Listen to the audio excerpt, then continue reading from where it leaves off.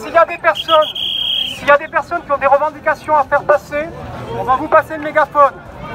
Alors, avant, je vais vous dire une petite chose très intéressante. Chut, écoutez Écoutez Alors, ceux qui veulent dire des revendications, c'est le moment ou jamais de, passer, de faire passer vos revendications. Une information intéressante. Ce mardi, ce mardi, Maître Sophia Albert Salmeron s'est rendu à la Cour pénale internationale de l'AE avec un avocat spécialisé dans le, accrédité par le tribunal international, le tribunal pénal international de l'AE, Maître Mabanga.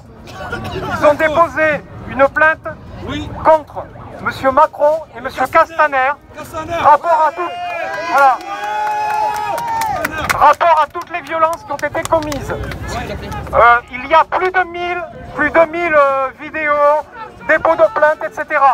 La plainte porte sur toutes les formes de violence, y compris les gaz. Il faut savoir que les gaz lacrymogènes utilisés contre la population civile sont interdits.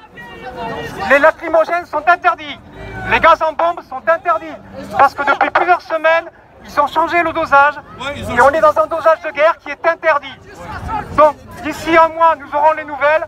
Si vous voulez confirmation, pour être bien sûr que ce n'est pas une fake news, la vidéo a été mise sur Internet, sur YouTube, par Provence Reportage.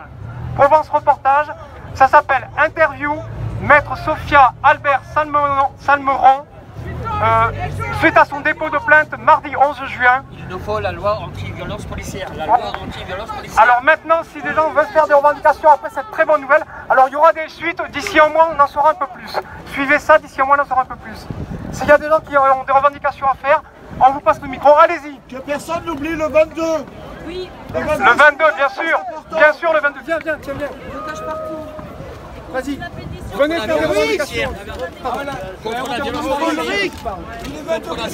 N'oubliez pas tout le monde, le 22, nous voulons toute la France dans la rue. Nous voulons un blocage total du pays. Il faut que nous fassions comprendre à ce gouvernement que nous serons là encore un an s'il faut. On aura, on aura gain de cause.